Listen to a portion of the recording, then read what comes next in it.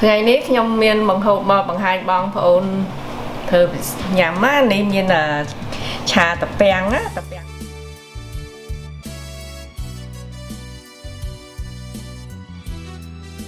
យ៉ាងណាតាពាំងកំប៉ុងណានេះតាពាំងម៉ូតនេះ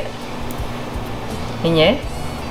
ចង់ឆាតាពាំងស្រស់ក៏បានដែរបើមានតាពាំងស្រស់ឆាតាពាំងស្រស់ហិតឆ្ងាញ់ទៀតហើយយើងសាប់ជាច្រាមូលទីទូចឹងណានេះតាពាំងមានចំនួន4កំប៉ុងណា ហើយមុននឹងនេះយើងដាំទឹកស្ងោរវា10នាទីចោលកុំឲ្យវាធំកំប៉ុងណាយើងស្ងោរ10នាទីចោលហើយយើងលាងឲ្យស្អាតចាំយើងយកមកឆាហើយនេះមានសាច់ចំនួន1ផោនណាសាច់ច្រាមណាហើយបកាមួយផោនដែរហើយពងទាមាន4ពងទាក៏បានពងមាន់ក៏បានដែរហើយនេះខ្លាញ់2ស្លាបព្រាបាយខ្ទឹម2ស្លាបព្រាបាយស៊ុបមាន់ណា1ស្លាបព្រាបាយ ស្ករមួយស្លាបព្រាបាយអំបិលកន្លះស្លាបព្រាកាហ្វេព្រោះអីយើងឆាអត់ប្រៃអាហ្នឹងយើងញ៉ាំជាមួយធ្វើទឹកត្រីញ៉ាំជាមួយយើងបុកទឹកត្រីញ៉ាំជាមួយហើយស្លឹកខ្ទឹមវាមានអឺ6ដើមដាក់ស្លឹកខ្ទឹមមកច្រើនវាឆ្ងាញ់សំបាយបានបងថ្នឹងថ្នមគូក្រងជីវិតគុំនួចនេះស្នេហាការប្រចាំចិត្តគុំរិទ្ធវាសនា សូមមេឃនឹងតែជួយធ្វើសាំងសីស្នេហាបេះដូងបងមានតែគូលាបកាដែលរូបបងស្នេហ៍សម្រាប់អូនមានតែបងជាម្ចាំងជីវិតគុំនួចនៃស្នេហាការប្រចាំចិត្តសូមមេឃនឹងដីជួយធ្វើសាស្រីសេ គាណាយើងច្រាមបានប៉ុណ្ណឹងហើយកុំឲ្យវាម៉ត់ទេវានៅជាតិដុំដុំឥឡូវយើងដាក់សាច់ណាសាច់ច្រាមចូលគ្នា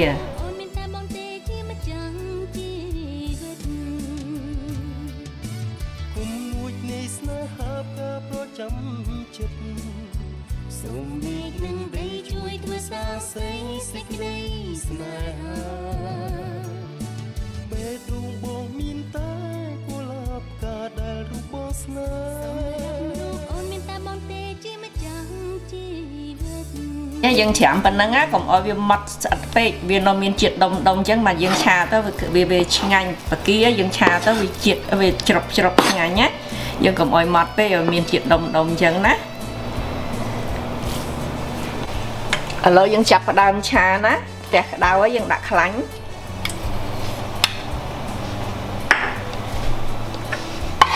ទឹម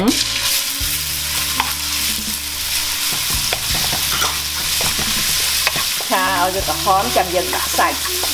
ឃើញទេខ្ទឹមក្រហមណាឥឡូវហ្នឹងយើងដាក់សាច់ចូលឡូវ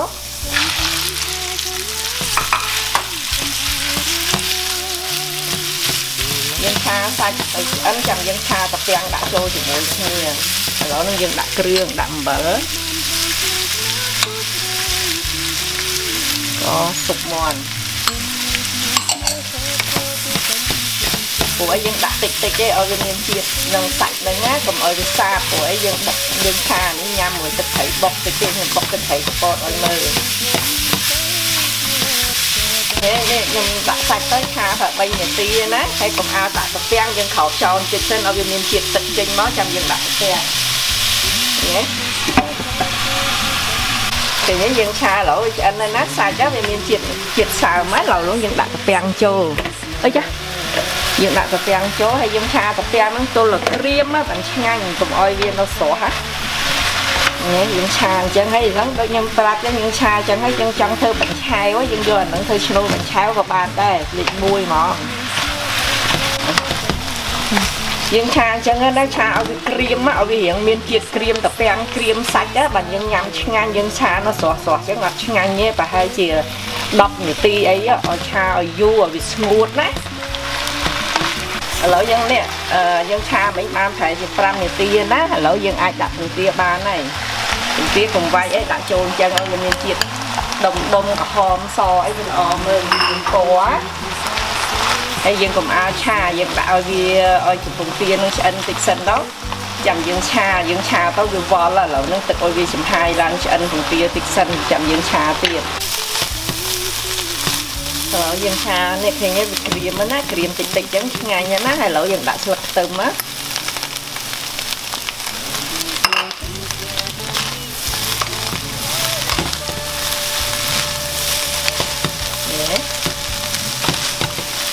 ឆ្អិនហួចរាល់អស់ហើយឃើញទេតំណងណាឆាតាពាំងហ្នឹងណាបងប្អូនចង់ធ្វើបាញ់ឆាវក៏បានដែរយកអញ្ចឹងធ្វើបាញ់ឆាវទៅ ណាហើយបើអ្នកសុកពតគេយកធ្វើអាឆ្នូលនំក្រាំប៉ាវឆ្នូលអានំវត្តឆ្នាំងណាយើងធ្វើនំវត្តឆ្នាំងហើយយើងធ្វើអាហ្នឹងឆ្នូលដាក់ជាឆ្នូលក៏បានដែរ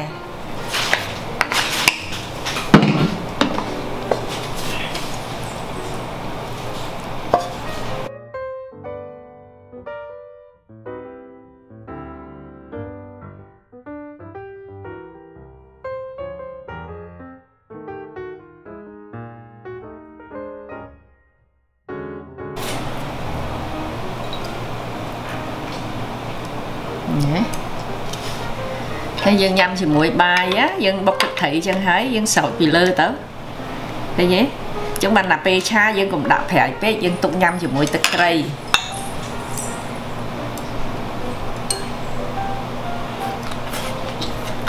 ហឹម Yummy, yummy, នំ yummy. មកញ៉ាំមី Yummy, yummy, ហើយខ្ញុំអរគុណដែលតាមបងប្អូនតាមដានវីដេអូរបស់ខ្ញុំណា yummy, yummy.